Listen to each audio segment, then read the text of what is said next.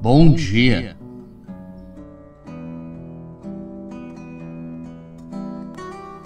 Que a paz de Cristo esteja em nossas casas. Inspirai, ó Deus, as nossas ações e ajudai-nos a realizá-las, para que em vós comece e para vós termine tudo aquilo que fizermos. Por Cristo nosso Senhor. Amém.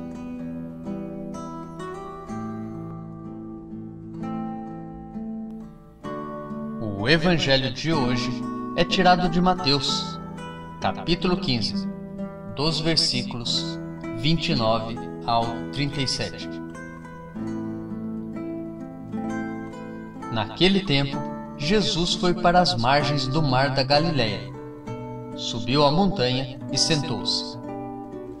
Numerosas multidões aproximaram-se dele, levando consigo coxos, aleijados, cegos, mudos e muitos outros doentes. Então os colocaram aos pés de Jesus, e ele os curou. O povo ficou admirado quando viu os mudos falando, os aleijados sendo curados, os coxos andando e os cegos enxergando, e glorificaram o Deus de Israel. Jesus chamou seus discípulos e disse: Tenho compaixão da multidão, porque já faz três dias que está comigo e nada tem para comer. Não quero mandá-los embora com fome, para que não desmaiem pelo caminho. Os discípulos disseram: Onde vamos buscar neste deserto tantos pães para saciar tão grande multidão? Jesus perguntou: Quantos pães tendes? Eles responderam: Sete e alguns peixinhos. E Jesus mandou que a multidão se sentasse pelo chão. Depois pegou os sete pães e os peixes, deu graças, partiu-os e os dava aos discípulos, e os discípulos às multidões. Todos comeram e ficaram satisfeitos, e encheram sete cestos com os pedaços que sobraram.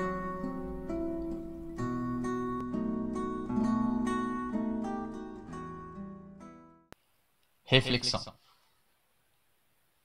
Tanto na leitura do livro do profeta Isaías, capítulo 25, dos versículos 6 ao 10a, quanto no Evangelho de Mateus, capítulo 15, dos versículos 29 ao 37, as leituras nos falam de refeições.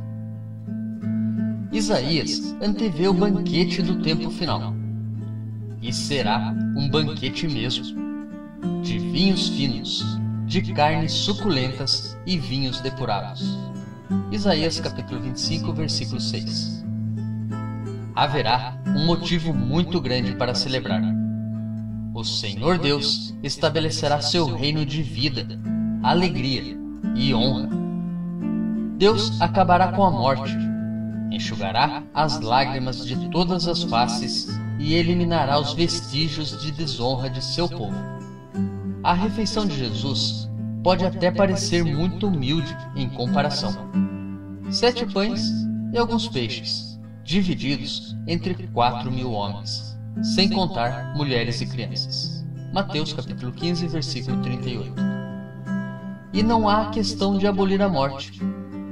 Jesus se limita a curar um número de pessoas aflitas de diversas doenças e deficiências.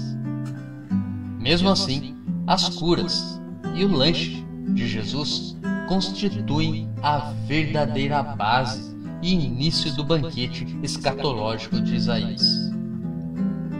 Até a vinda de Jesus, a profecia de Isaías não passava de um belo sonho. Em Jesus, Deus começa a transformar o sonho em realidade. Jesus age numa pequena escala, como é do seu jeito.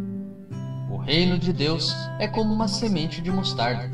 Mateus capítulo 13, versículo 31. Mas esta semente vai transformar-se numa árvore imensa a árvore da salvação da humanidade.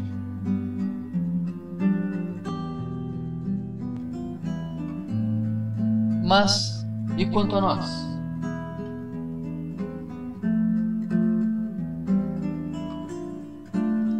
Será que a semente do Evangelho de Jesus Cristo já brotou em nossos corações? Se brotou, está dando frutos?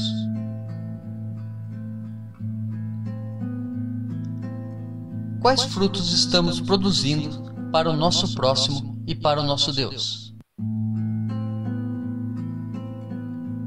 Frutos de amor e de bondade? Ou frutos amargos do egoísmo e da ignorância?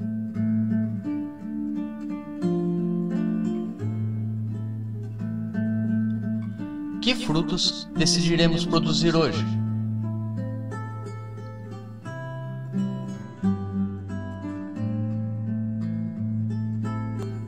Reflita.